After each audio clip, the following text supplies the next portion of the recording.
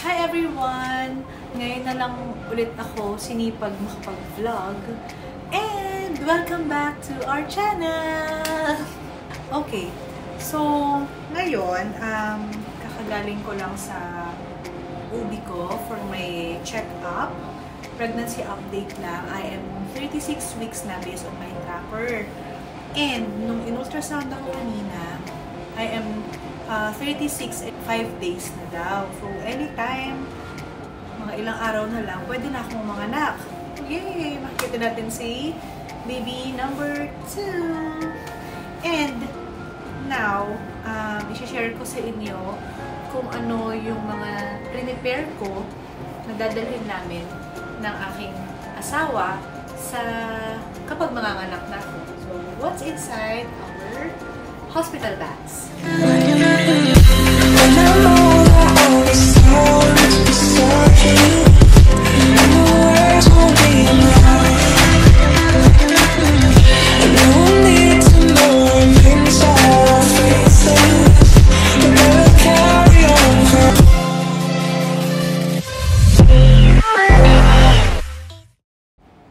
Okay. So, tingnan nyo naman yung bags namin. Parang, or, ah, normal delivery pala ako by the way. tingnan nyo naman yung bags namin. Parang, pang CS. Kasi pang isang buwan na yata ako sa hospital. Pero, one, one day lang naman. Yung nakaraang, nung nanganak ako kay Lanzo, one day lang, overnight lang ako doon. Pero ngayon, mas prepared na ako. Siyempre, kasi alam ko na. Tapos, eh, pandemic ngayon, sabi nila, pag nakapasok ka na ng hospital, hindi ka na pwedeng lumabas to buy food, ganyan. So, binaon ko na rin lahat. So, ito, ito yung bag ni baby. Tapos, ito naman yung bag ko, yung hospital bag ko. Ito yung mga um, hand carry, kung ano-ano lang na madaling makuha. Tapos, ito, dito ko na nilagay yung mga baby essentials. And then, ito naman, bag nung asawa ko. Bag ni Jay. Okay, so mag-start muna tayo sa bag ni baby. Ano bang, ito na lang muna. Since ito yung medyo ah, maliit. So, nilagay ko na siya sa Durabox. Actually, nanood din naman ako ng mga hospital bags ng ibang mga mommies na nanganganak na. Uh, mas nakita ko, ito yung mas madaling makuha. Eh, since wala naman akong kasama doon, si Jay lang, yung asawa ko lang. Eh, alam mo naman ng lalaki, ni hanap dito, hanap doon. So, ito, ito na siya lahat. Madali na lang siyang makita. Tsaka yung nurse, para makita na lang din niya agad. So, ano nga ba yung inside nito? Ito yung mga baby essentials. Ito, um, nagdala ako ng changing pad, kung saan siya yung po, mga pupo, ganyan. Ito kay Lanzo pa to, din ako bumili ng changing pad. So, ito. Tapos, diaper. Diaper for newborn. Nagdala ako ng 1, 2, 20. Nagdala ako dito ng 20. Tapos, meron pa ako isang pack na 20. Para lang, para lang prepared. Know. Okay, so diaper. Tapos, nandito yung wipes. Meron ako isang ano, wipes. Tapos, um, alcohol. Alcohol. And then, meron ako ditong cotton. Mas gusto ko kasi yung, hindi yung bilog-bilog. Mas sanay kasi ako dito eh. So, kay, kay baby dati, hindi na yata ako nakapagdala ng cotton. Ewan ko, basta nagdala na lang din ako. Makita ko kasi kailangan daw magdala. So, yun. Mask. Ito ko na nilagay wala lang. Ano lang madaling makita din. So, mask. Meron akong um, N95 mask, tsaka yung N94. Gusto ko nung mask, pero mas gusto ko yung N95 mask kasi syempre hospital. Tapos, meron ako dito um, shampoo, hair and body. Uh, kay Lanzo kasi since new uh, since newborn siya, mustela na talaga yung pinapagamit ko, inhiyang sa kanya. So, dito sa second baby, Stella na din. Ito na rin kung ano yung ginamit ni Lanzo. So, meron akong shampoo. Tapos, meron akong cream. Lotion. Lotion siya nila, ni Lanzo. Dinala ko lang. Eh, lagi kasi akong may extra. Lagi akong may isa na stock. So, dinala ko na. Just in case. Yan, lotion. Tapos, meron ako dito, ano ba to? Face cream ng bata. Ng Stella din. Face Tapos, suklay. Suklay niya. Yan, suklay. Tapos, meron ako dito mustela ulit na cleansing water para daw sa mga diaper. Ito siyang din sila. So, dito. Pagka, ilalagay mo lang siya sa cotton, tapos yun na yung instead of water. Ito na yun. Mabango siya. Ito, gamitin din to. Tapos, nagdala rin ako ng baby oil. Yan. Tapos, buds. Ito, cotton buds. So, yun. Di ko alam kung may mga nakalimutan pa ako, pero comment, uh, mag-comment kayo sa comment section kung kailangan pa ba akong dalhin for baby essentials. And then, sa, sa baby bags, baby bag naman, ito. Luggage bag yung daladala ko. Parang madali siyang mahapak-hapak. Matulungan ko rin si Jay. Ayan, tada! Okay. O, unahin ko na to. Ah, si pillow. Uh, kapag makapag-breastfeed ka, yung lalagyan mo siya dito. Tapos ito yung baby. Ito, very useful nito kay Lanzo. Nalabhan ko lang siya lahat para prepared na ako. So, dadalhin ko to sa hospital. Tapos, nagdala ako ng mga lampin. And then, meron ako dito. Ano ba tawag dito? Yung blanket niya na pwedeng swaddle, muslin daw. Tama ba? Muslin, muslin. Nagdala ako ng tatlo. Yung lampin, by the way, siguro mga ano yan, mga six. Ganyan. Feeling ko naman okay na yun. Tapos, so ito, para, ito rin, ito rin siguro yung ilalagay ko dun sa hihigaan niya para malinis. Oh, ito pala, lahat ng mga damit niya, inayos-ayos ko na. Kasi para isang hatakan na lang din si at Baka mamaya maghanap-hanap pa kung ano ng mga kuhanin. So, ito. Lahat ito nasa ziplock na. So, if, if you can see, ayan, nakaano na siya. Outfit number one. Yan. Um, lagay ko na siya sa loob. So, each ziplock, meron siyang, ito, nakalagay dito, ito yung long sleeves. Tapos, meron na siyang uh, mittens, meron siya yung cap. Ilagyan ko na rin siya ng bib. Tapos, actually, nagla naglalagay kasi ako ng kiss dati. Ewan ko kung, lahat naman yata ng mommies, pero sa hospital daw kasi bawal big kiss. Pero nilagay ko pa din. Bahala na. Yun. So, meron ako outfit number one. Outfit number two. Ito, long sleeve din to. Wait lang, try natin. Ay, mag-open ako ng isa. Alam nyo ba, lahat ng damit ngayon ni baby number 2 ay nagamit na lahat nila. So, tipid. Since lalaki din siya. So, yan, isang ganito. Ah, lahat ng, halos lahat ng damit ni Lanzo dati, puro St. Patrick na brand. Alam mo yun. Ang ganda kasi yung quality talaga ng tela nila. So, isa niya, tapos meron akong cup, merong mittens, dito na, isang hilahan na lang talaga. Tapos, bib. Bib niya. And then, ilagyan ko na rin ng big case. Bahala na kung magalit yung nurse o kung hindi niya ipasuot. Nakasakot ko na. So, ayan. Meron akong mga ganito. So, outfit number 1, outfit number 2, number 3, number 4, number 5, outfit number 6. And then, meron siyang pang-uwi outfit. Ito. Para ito yung papasuot ni Jay kapag ka-uuwi na kami. Pamamaya eh kung ano na ipasuot. Ayan. Sobrang cute. Ayan. Ayan. Surprise! Welcome home! Nadala siya ni Lanzo. Ito yung pauwi outfit niya with pajamas. Actually, lahat pala ng pajama na dala ko, yung meron ng socks. Tuloy ako masyado nagdala ng socks na yung, yung eh, di ba, pajama, tapos nalagyan ko ng socks. Ito kasi, gusto ko yung mga ganito. So, karamihan din ng mga dala ko, puro ganito.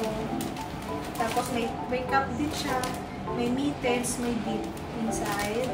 So, ito yung pang-uwi niya. Kailangan ko din to. Mga isang beses lang nagamit ni Lanso before.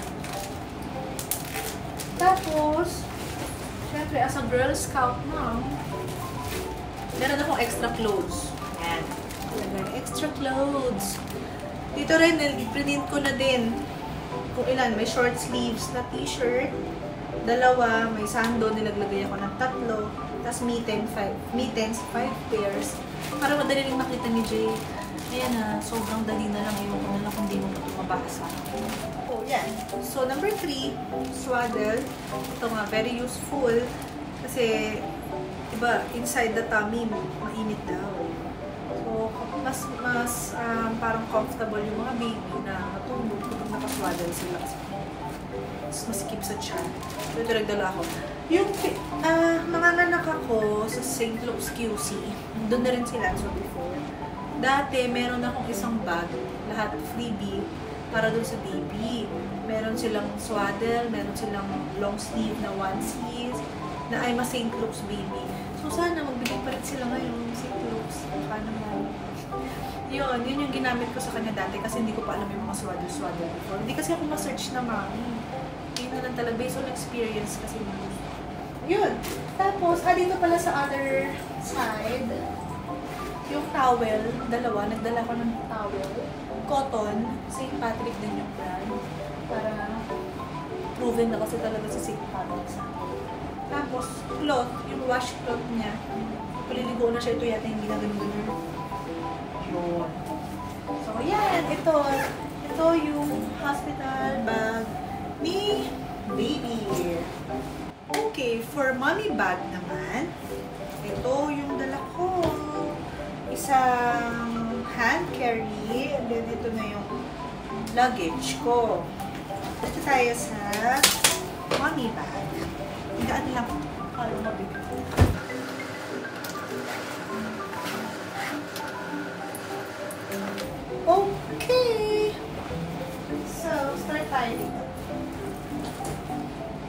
Ang mga kailangan ng mga mommies. Uh, based on experience also, dati kasi ang daladala ko ay napkin. Eh, papalit-palit. Ayaw ko naman ng ganun. Lagi talaga parang every 30 minutes, nalakas pa yung dugo pagkapanganak. So, meron akong dalang adult diaper. Ito, binili ko siya sa Urban Essentials. Kung maganda siya. Ito lang naman yung sinisell ng Urban Essentials, parang brief type ko napapakita sa inyo, pero sobrang stretchy siya, tapos comfy. So, feeling ko magugustuhan ko. Nagdala ako ng apat, tapos may bago pang pang na apat. Para lang prepared. So, total of 8 adult diapers. And then, meron akong robe, um, hospital robe, para kapag magwa-wash-wash na, or ito yung, ito siguro yung isusuot ko dun sa hospital instead of the room ng hospital. Alay. Towel, dala rin akong towel. Dalawang robe. And then, underwear, of course. Hindi ko napapakita yung underwear. Pero nagdala ko ng uh, tatlong pangbuntis tataas para naka-diaper and then yung, yung underwear. Tapos meron din ako, sisiray kasi ako sa underwear na seamless. Ewan ko kung magagamit ko to. Pero parang hindi. Tapos madala. Tapos, um, ito. This is very, very, very useful. Nung nanganak ako sa firstborn ko, bumili ako after mga after 4 days. This is a weight binder nakaka mas madalis, mas mabilis daw yung recovery niya, recovery ng baby. Actually, nung sa firstborn ko nga, sinuot ko siya mga fourth day na, sobrang okay siya, hindi siya makati, hindi siya masakit. Tapos nakaka-start din siya sa, eh, nakaka, nakaka, ano ba nakaka-help din siya para sa mga sa slimming daw, kung gusto ko yung pumaya agad. Kaya dala ko, so after, after daw na makapanganak, agad-agad daw, isuot ko na to. I-try natin. Baka mas hindi masakit yung tahi down there. Yan, so dala ko. Meron akong dala duster. Sa Sabi kasi comfy clothes daw eh. So, nagdala ako ng duster ko. Eh, mga duster ko kasi ay puro sleeveless. So, yan, meron akong duster. Tapos, nagdala na lang ako ng cardigan. Just in case, lamig eh. Socks. Dalawa. May dala akong socks. Ano tawag dito? Nursing bra. Nursing bra. From Mama. Mommy. Ah! Basta yun, sa Shopee ko na lang ito binili. Nursing bra. Meron din akong pantulog. Terno ng pantulog. Just in case lang din na pero feeling ko magda-duster ako doon kasi yung duster ko na ngayon. Ay, mga murachi na duster. Yan, ganito. Yung, pwede mo na siya ibaba. Ganun kapag maka-breastfeed ka. Kay Lanzo, hindi ako nagpa-breastfeed. Mga ano lang, 2 months lang, tapos mixed fed pa siya. Kasi wala akong milk. Eh, yung ano pa, inverted pa yung nipples ko. Nakalubog. So, hindi ko na talaga siya na-push. Nag-mix fed ako. Pero ngayon, sana, meron, meron akong gatas. At saka gusto ko rin siya talaga i-push.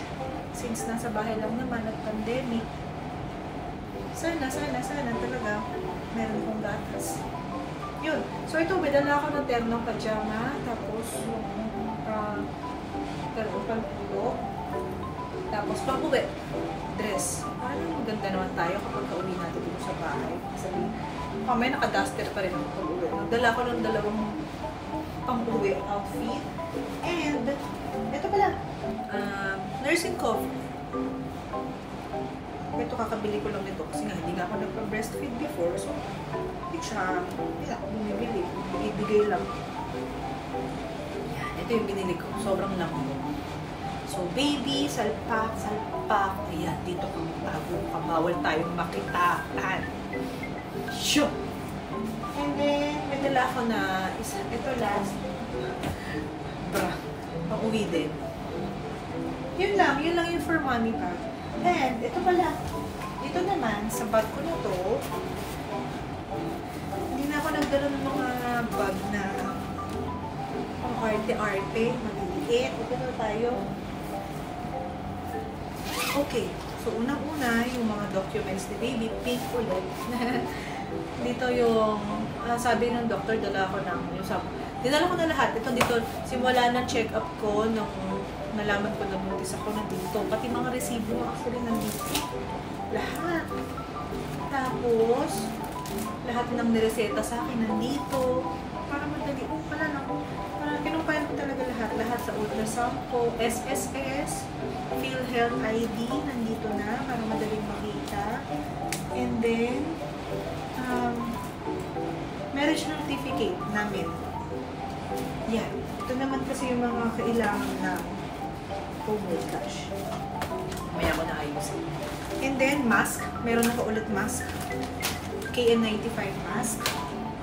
And, yung planner ko. Paano mo, mainip ako doon. Mahilig kasi ako ng sulat-sulat. Dala ko na rin yung planner ko. Tissue. Vaccination card. Fully vaccinated. And, ayan, may dala rin akong wipes. Tapos, syempre, supply. Um, salamin ko. Since malabo ang mata. Tapos, may dala na ako ng ball pen. Um, makeup kit. Kapag makeup pa kaya ako, ito nag-deliver na ako. Tapos, of course, wallet. And don't forget the cash dahil wala tayong pambayad sa hospital kapag uh, tayo makakalabas. Ito naman, wallet din for card.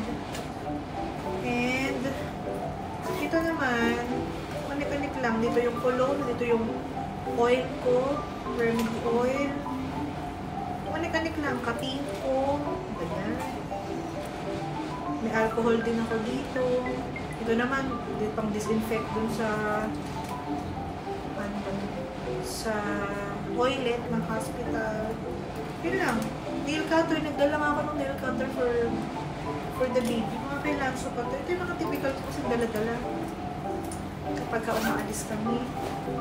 Tapos, mask. Mask lang. Dito nakalagay yung yung mask ko mga nagamit na na pwede pa. May, may tali. Ayun, yun lang. Ito, yung isang bag, hindi ko na ipapakita kasi lahat yan, puro Jay. Ano bang gusto makita doon? Yung t-shirt lang yan. Ayun. So, ito lahat lang dadalhin ko pag nahanap na. Madali na lang din. Mamaya ilalagay ko na sila sa ah sa sasakyan just in case na pumutok na siya ready na kami. Tar. Yung mga toiletries pa pala, baka makalimutan natin. Yun, mga syempre, mga personal kit. Shampoo, sabon. Dito na rin lahat yun. Nasa bag kasi siya ni J. Toothbrush, deodorant, ganyan. Ano, baka makalimutan yun. Tapos, ano ba? O yun, sana sa mga mommies na malapit na rin mga anak, ingat-ingat tayo, have a healthy pregnancy, of course. And sa next vlog, ipapakita ko naman, sana makapag-vlog ako nung na, na kami sa hospital. Kakayanin ko pa kaya. Pero itatry ko, kahit yung mga clip lang, para makita nyo kung gaano kasaya. Gaano ka, kahigpit ang hospital na yun. Yun. At saka syempre, parang ma-share namin sa inyo yung journey ng pangalawa naming anak. Ayun, thank you for watching. Maraming salamat po.